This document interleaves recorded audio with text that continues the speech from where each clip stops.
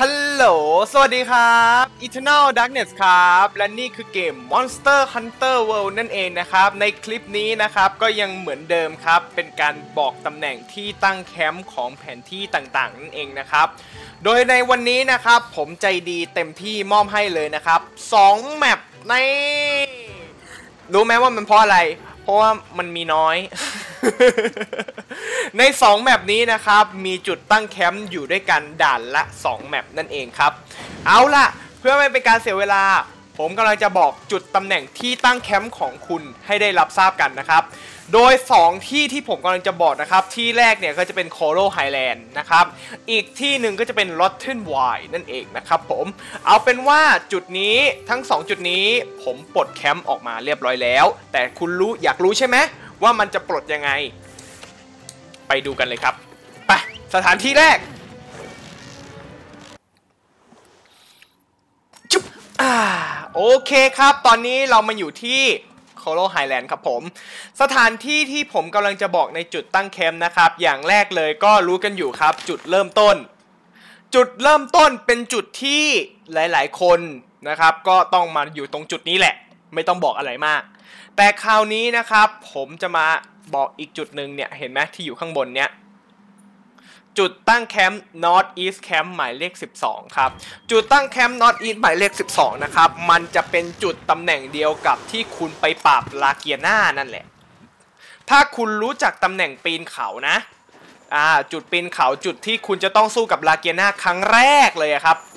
ครั้งแรกเลยนะ เนี่ย สถานที่นี้ถ้าผมถอยหลังกลับมาเนี่ย เนี่ย คุณยังครับ คุณยังครับ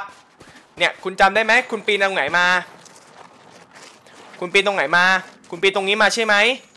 คุณขึ้นนี่คุณปีนปุ๊บปุ๊บปุ๊บปุ๊บปุ๊บปุ๊บปุ๊บคุณมาหาลาเกียนาคุณมาหาลาเกียนาอยู่ตรงนี้ลาเกียนาจะอยู่ตรงนี้นะครับ ถ้าใครทำเควสเนี่ยถ้าใครมาหาลาเกียนาจะรู้นะครับว่ามันอยู่ตรงนี้ มันจะอยู่ตรงนี้เนี่ยลาเกียนาอยู่ข้างหน้าเนี่ยหลังจากนั้นขึ้นไป เข้าไปเลี้ยวซ้าย เลี้ยวซ้ายนะ เลี้ยวซ้าย มีรังเล็กๆอยู่ เข้าลังนี้ เนี่ย เข้าลังนี้ ก็จะเป็นจุดตั้งแคมป์อีกจุดหนึ่ง นี่คือจุดตั้งแคมป์ของโคโรไฮแลนด์ เป็นไงครับ 2 จุดง่ายๆ อะ เอาเป็นว่า เดี๋ยวผมพาคุณไปอีกจุดหนึ่งแล้วกัน Rotten Y มันอยู่ตรงไหน เดี๋ยวรู้กันครับ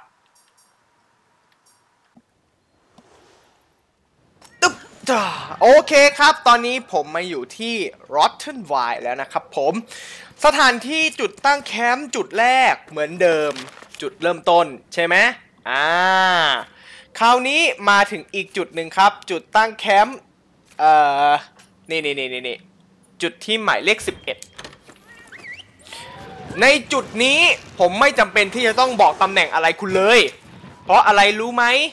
เพราะว่าในจุดตำแหน่งจุดตั้งแคมป์จุดนี้นะครับ เป็นจุดที่